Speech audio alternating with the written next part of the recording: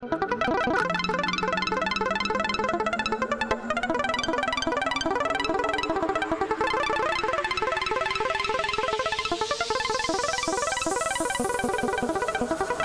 veritat és que amb aquesta exposició que hem titulat Paraules pixelades hem volgut mostrar aquest viatge que fa la paraula, que en realitat ve, de molt enrere i, i que remet bàsicament a l'oralitat i després ha trobat diverses cases que l'han acollida.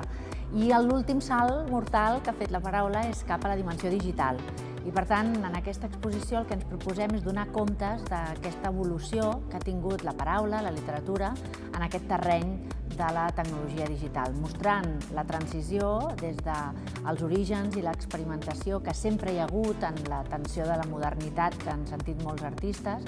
i fins a les noves pràctiques eh, que molts creadors de diversa naturalesa doncs, estan explorant per oferir-nos o per treure el màxim potencial d'aquests objectes que són els ordinadors que també poden acollir eh, la venerable literatura. Un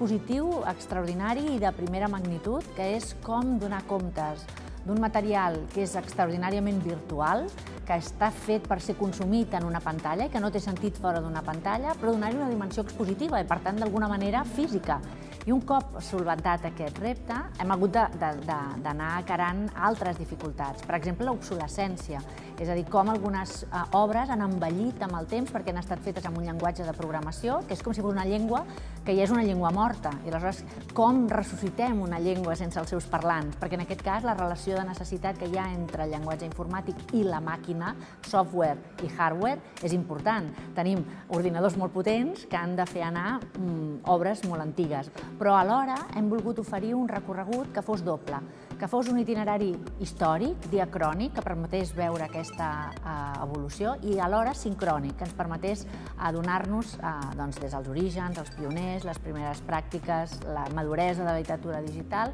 també una mostra de literatura digital catalana en aquesta doble evolució i, finalment, l'últim territori, que són les apps i les instal·lacions.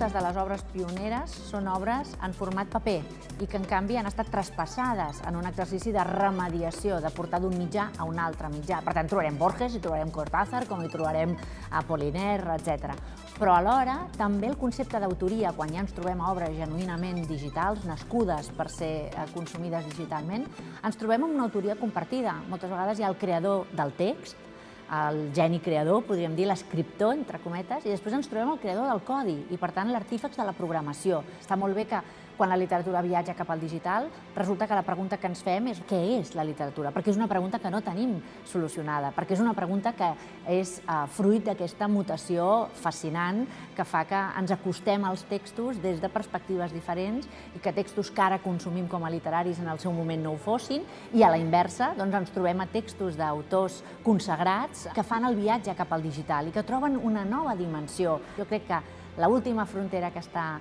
explorant la literatura ens ajuda a repensar moltes qüestions relacionades amb la literarietat.